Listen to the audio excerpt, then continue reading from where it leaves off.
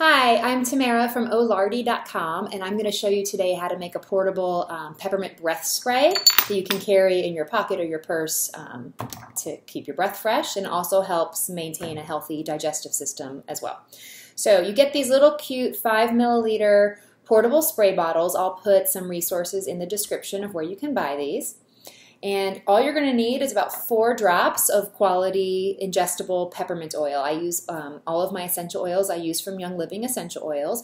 You could also, if you wanted, you could use cinnamon, you could use clove, spearmint, whatever sort of breath freshening oil you prefer. I like peppermint. Um, I also like because it supports a healthy digestive system, I kind of get fresh breath and support in that way. And all you're going to do is four drops.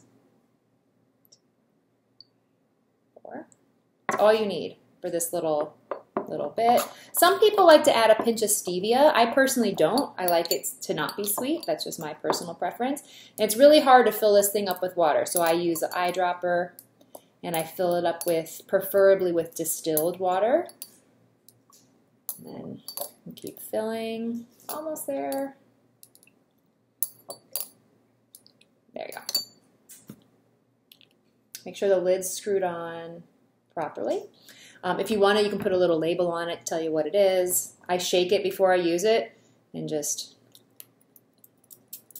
you have a peppermint breath spray and that way you know what's in here. It's just pure peppermint oil and water. Enjoy.